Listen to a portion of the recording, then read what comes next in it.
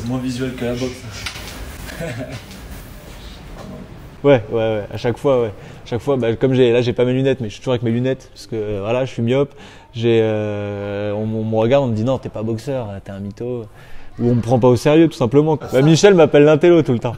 Dès que j'arrive dans la salle, Michel, euh, Michel sourit, il me dit ah, ça va l'intello?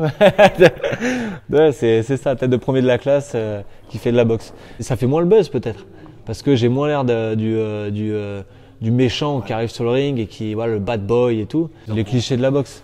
Et non, il faut pas forcément avoir euh, mangé des cailloux toute sa jeunesse pour être un bon boxeur ou être un combattant ou être un guerrier dans la vie. Donc c'est marrant. J'aime bien jouer sur ça, ce côté, euh, ce, le fait qu'en dehors on s'imagine pas que je puisse faire ça comme métier. J'aime beaucoup.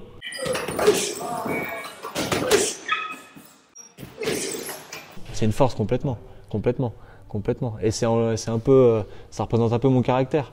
Il y a un peu deux, facettes. Il y a cette douceur euh, sensible, etc. Puis ce côté combattant, euh, dur, ambitieux, combatif dans toutes les situations. Et voilà. Et souvent, quand j'étais, parce que j'ai toujours fait mes études en, en horaire aménagé, donc j'allais à l'entraînement le matin, puis à l'école, puis après je revenais à l'entraînement. J'arrivais du coup à l'entraînement avec mon sac d'école, mon ordinateur, mes livres, mes lunettes. Et euh, dès que je, la première fois que je suis arrivé à Lyon, par exemple, je sais que euh, dans la salle, ils se disaient, bah, c'est pas un boxeur, lui, d'où il vient, quoi. Et après, bon voilà, et après quand je mets les gants et tout, euh, bah là, je me fais respecter. là, on voit que je boxe vraiment. Quand on regarde les pro- le profil de pas mal de boxeurs de, de ma génération, bah, si je me trompe pas, Souleymane Sissoko a fait des grandes études. Euh, il, y en a, il y en a plusieurs en France qui ont fait des études, qui ont des métiers à côté. Euh, Sarah Ouramoun qui était, euh, qui est ingénieur, si je me trompe pas, à côté. Estelle Mosley, ouais, pardon, qui est ingénieur, mais Sarah Ouramoun aussi, qui est entrepreneur et qui est, qui est Sciences Po, voilà. Donc bon, c'est voilà, ça montre un peu que c'est fini en fait l'époque de la boxe ou des, des- ou du sport de haut niveau où les sportifs de haut niveau ne travaillaient pas intellectuellement et ne s'entraînaient pas intellectuellement, n'avaient pas autre chose que leur sport dans leur vie. C'est fini ça. Je pense que ça, c'est pas unique maintenant. Je pense qu'on est de plus en plus et tant mieux. Ça va amener aussi une autre image du, sport, euh, euh, un autre regard du public sur notre sport et euh, aussi de la part des sponsors. Ils vont communiquer une image différente de notre sport et des sportifs et même dans la, dans la manière dont les sportifs vont gérer leur carrière, le côté business, comprendre ce qui se passe, les mécanismes, l'économie du sport. Pas seulement arriver sur le ring et boxer, comprendre aussi ce qu'il y a derrière et, du coup être acteur de tout ça. Quoi. Bah alors, mon à côté aujourd'hui, je fais euh, euh, de l'investissement et euh, du trading, on peut appeler ça, la gestion de portefeuille quoi, dans les actifs numériques. Et après, je prends part aussi à des levées de fonds, etc. Donc en fait, je fais euh, de la gestion de portefeuille et de l'investissement en actifs numériques. Ça, c'est une passion que j'ai à côté aussi. Moi, je marche à la passion. Donc ça, c'est un. J'ai été pris par ça il y a 5 ans et euh, et ça m'a passionné. Et Aujourd'hui, j'ai des vraies ambitions là-dedans aussi. Aujourd'hui, mais par contre, la boxe, aujourd'hui, ça prend le dessus parce que le projet sportif, c'est sur le court terme en quelque sorte. À 50 ans, je pourrais plus boxer, mais je pourrais encore faire de l'investissement et gérer des portefeuilles et faire du trading ou autre. Donc, euh, donc euh, mon projet sportif, c'est une priorité. Et euh, j'ai 27 ans et je ne je veux pas rester dans la boxe jusqu'à 40 ans. Donc euh, pour moi, les années et les jours comptent. Donc c'est une vraie priorité et euh, ça passe au- au-delà de, au-dessus de, tout. C'est mon métier, c'est ma priorité. Aujourd'hui, le reste, euh, je construis l'avenir, on va dire. C'est mon caractère, ça. C'est, je suis un, ouais, j'ai beaucoup je pense que j'ai beaucoup d'ego et je suis un vrai euh, combattant dans l'âme. C'est-à-dire que tout le temps quand je fais quelque chose, je veux gagner. Donc c'est vraiment la gagne. J'ai envie de gagner, je veux être le numéro un. Je veux, quand je mets les gants, je veux gagner. Quand j'étais en études, je voulais être le meilleur. Quand, quand je fais quelque chose, je veux toujours. C'est ça en fait. C'est ça qui me drive et qui fait que je deviens agressif et euh, méchant dans le ring et euh, que j'ai envie de gagner. Et je suis prêt à tout pour gagner en fait. Parfois dans les combats, on prend des coups et on a mal, mais on se sent vraiment vivant et tout. Donc c'est un peu ce côté-là euh, qui, qui est passionnant et qui moi me plaît. C'est qu'à la fois il y a le risque, la dureté, la difficulté, la douleur, la joie. C'est plein d'émotions. C'est un film.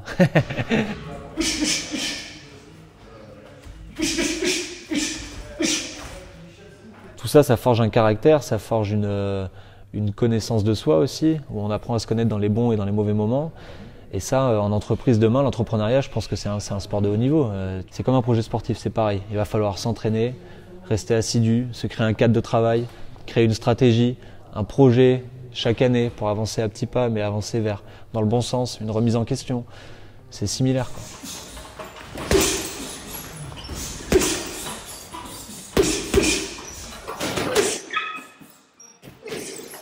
Bah, j'ai toujours été un compétiteur. Donc euh, quand j'étais petit, moi je me disais euh, si je fais un sport, euh, j'ai fait du skate, du karaté, après de la boxe, à chaque fois je voulais être champion du monde. Donc je me disais je veux aller sur le haut du tableau. Je veux faire le spectacle, je veux que ça, je veux briller, etc. Mais ça va venir naturellement, je me mets pas de pression. Et c'est vrai que jusqu'à maintenant, j'ai avancé dans l'ombre. Et, ça me va. Au moins, j'avance tranquille, je fais mon chemin jusqu'au jour où je vais éclater.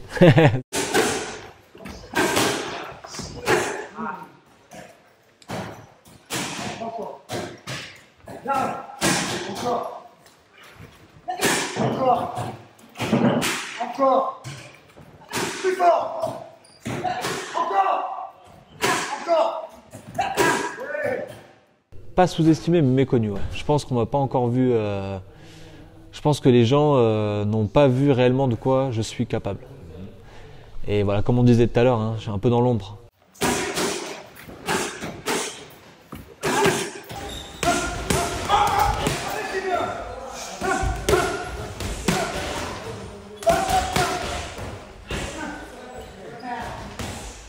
Moi je veux voir jusqu'où je peux aller. Donc euh, je moi en tant que sportif, mon ambition c'est d'être champion du monde.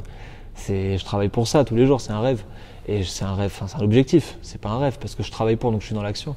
Mais euh, euh, et après en termes de temps, je me donne deux ans moi pour, enfin voilà, je me, je me, fixe deux ans et je me dis deux ans, dans deux ans j'aurai 29 ans, il faut que ça bouge quoi. Il faut que là pour moi les combats vont être hyper importants. Bah, déjà le championnat d'Europe va être déterminant, j'ai pas le droit à l'erreur, et les combats qui vont suivre aussi.